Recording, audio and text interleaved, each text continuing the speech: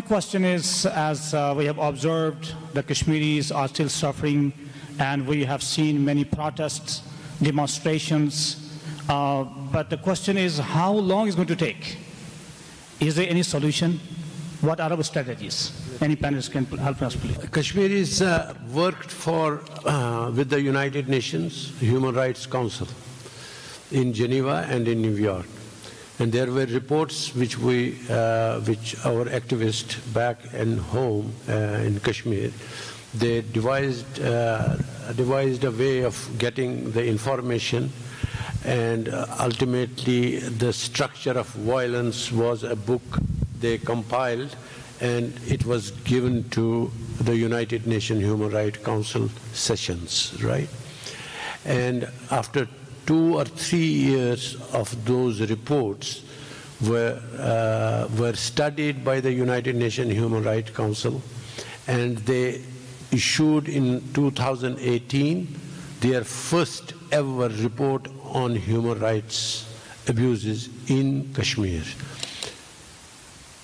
Those abuses were about 14 clauses of them were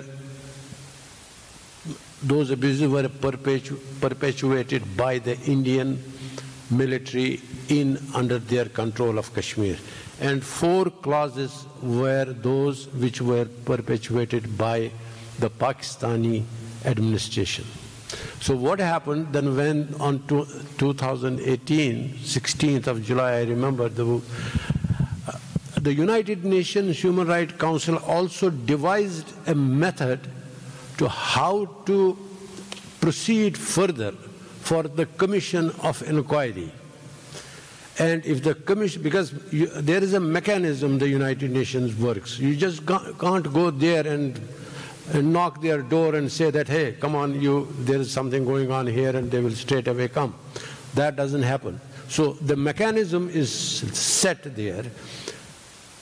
What happened is these were the reports only. The United Nations wanted uh, actually to go and talk to the victims and talk to those governments themselves to find whether these reports are right or wrong. So they appealed both India as well as Pakistan. This is an answer to you also. They appealed both India and Pakistan that you should allow us to get into so that we can verify these reports which have been, these were very credible reports from all over Reuters and everything. India rejected within two, two hours of report was issued by the United Nations Human Rights Council. Within two hours it rejected completely and said that we are not going to allow any official of the United Nations to come and verify these reports.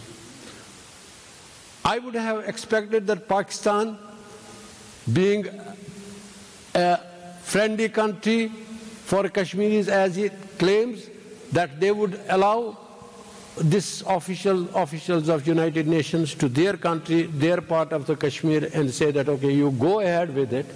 A report could have come that India refused it, but Pakistan allowed it, and a commission of inquiry could have started against India. But unfortunately, these two countries work together when it comes to resolving of Kashmir. They don't want to resolve the Kashmir issue. Let me explain to you, as you really said, uh, you said yourself about the war machinery of Ukraine, what is happening here. Exactly the same thing is happening. Pakistan right now needs money for their people who are flooded. What they are spending, United States Yesterday, it's yesterday's news that 450 million dollars have been issued, given to Pakistan for refurbishment of F-16s. I don't know if you know that. So this is a war machinery going on at the cost of the sufferings of the people. And people like this gentleman here, they do not understand it. That is why we are suffering here.